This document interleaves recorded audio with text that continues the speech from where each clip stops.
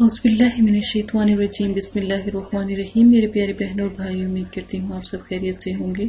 अगर अब तक आपने हमारा चैनल सब्सक्राइब नहीं किया तो जल्दी से हमारे चैनल को सब्सक्राइब कर लें, ताकि आने वाली तमाम वीडियो आसानी आपको मिल सके। आज मैं आपको अमल बताऊँगी, जो वजीफ़ा बताऊँगी, उससे पहले नबी पाक सल्लल्लाहु अलैहि वसल्लम की अहदीस सुनते हैं। औरत अगर बेटी है तो रहमत अगर बीवी है तो शोहर के निसफ ईमान का विरसा। अगर माँ है तो उसके कदमों में जन्नत। लेकिन हज़रत फातिमा जहरा की शान देखिए, इनके वालिद के लिए रहमत, वो खुद रहमत आलमीन है। और शोहर के लिए निसफ ईमान, जो खुद कामिल ईमान। और आपके कदमों में इन बेटियों की जन्नत है, जो खुद जन्नत के सरदार। सुबहान अल्लाह आज जो मैं वजीफा आपको बताने लगी हूँ, बहुत प्यारा अपनों को पाने का वजीफा हस्बैंड वाइफ का अगर कोई मसला हो, बहुत ज़्यादा बात ख़राब हो चुकी हो, बहुत ज़्यादा बिगड़ चुकी हो तो ये वजीफा आप एक दफ़ा ज़रूर करें। जैसा मैं आपको बताऊँगी, अगर आप ऐसा करते हैं तो इन आप कभी भी आपको नाउमीदी नहीं होगी। एक सौ ग्यारह मरतबा का अमल आज आपको बताने लगी हूँ। जैसा आप चाहेंगे इन वैसा होगा। हर कोई आपकी बात मानेगा, हर कोई आप पे मेहरबान होगा। कोई रूठा है तो राज़ी होगा, कोई नाराज़ है, कोई छोड़ के जा चुका है तो फ़ौरन आपके पास आ जाएगा। एक दफ़ा ये वजीफ़ा ज़रूर करें। इन अल्लाह के हुक्म से आपको कभी ना उम्मीद नहीं होगी। अगर आपका कोई प्यारा, कोई आपसे बहुत प्यार करता था रूट गया है, दूर जा चुका है, और अगर आप शरीयत के लिहाज से शादी करना चाहते हैं, या आपका रिश्ता नहीं रिश्तों की बंदिश है तो ये वजीफ़ा आपके लिए अनमोल ख़जाने की तरह है। तो ये एक दिन का सिर्फ़ वजीफ़ा है। एक दफ़ा ज़रूर कीजिएगा। सूर्य कौसर सिर्फ़ एक बार आपने पढ़नी है।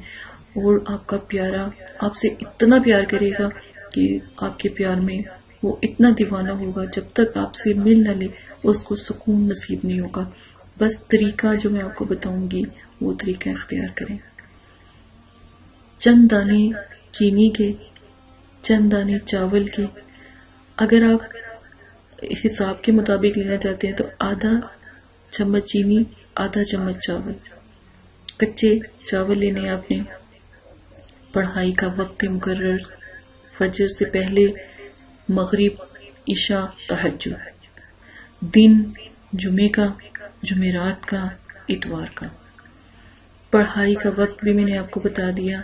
लिबास पाक साफ़, सफ़ेद हो तो मोतबर नहीं तो पाक साफ़, नहीं तो दुपट्टा सफ़ेद ज़रूर इस्तेमाल करें। नंबर तीन, बावजू आप ये अमल करें। आपको जिसके लिए अमल करना है, उसकी तस्वीर, या तस्वुर, या फिर आपको उसका नाम आना होना चाहिए।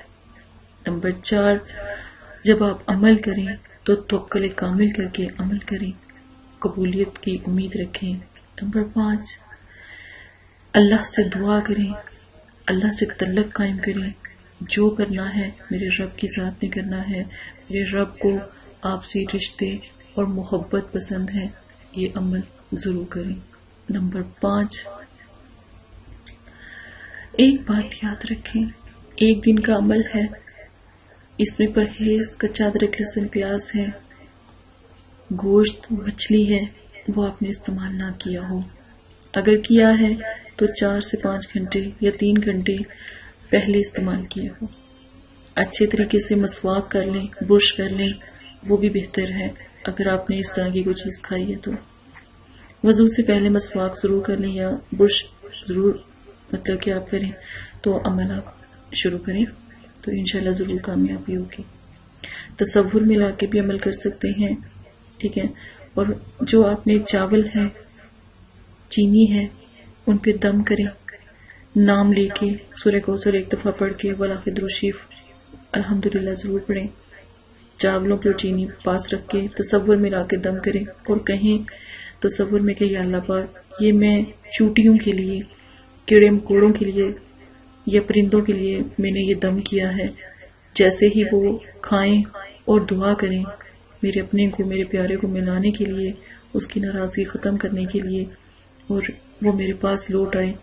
ये हस्बैंड वाइफ मियाँ बीवी के लिए भी उतना ही मोतबर है। रिश्तों की बंदिश खत्म करने के लिए भी ये वजीफा कर सकते हैं। बस आपने इसको किसी वीरान जगह या किसी ऐसी जगह डाल दें जहाँ पर चूटियाँ या कोई जैसे कीड़े मकोड़े हशरात होते हैं, वो इसको खा लें। आप यकीन माने कि दोबारा और किसी अमल की आपको ज़रूरत नहीं पड़ेगी। आपका प्यारा, आप जिससे आप प्यार करते हो, जिससे आप दिल में बहुत मोहब्बत रखते हो, यहाँ तक कि मियाँ बीवी के मसले में तलाक तक का मसला तो बनौज भी ला जाए। तब भी सिर्फ़ ये अमल करें परिंदे, ये अपनी नीयत डाल दें। जहाँ पर आपने कीड़े मकोड़ों में मतलब कि आपने डालना है, ये चावल और चीनी दम किया हुआ, इसका वाज फ़र्क अगले दिन आप देखें। और दुआ करें कि ये चूटियाँ वगैरह चुन ले। अगर घर में कोई परिंदा है तो वो खा ले तो आपका काम हो जाएगा। इनशाला ये ज़रूर ये वजीफा करें। अमल करें। अमल का तरीका भी मैंने बताया है, वजीफे का तरीका भी मैंने बताया है। आप ये करें। रिश्तों की बंदिश के लिए भी ये वजीफा बहुत नायाब है। एक दफ़ा ज़रूर कीजिए। इजाज़त दें अपना ख्याल रखिएगा। दुआ में याद रखिएगा।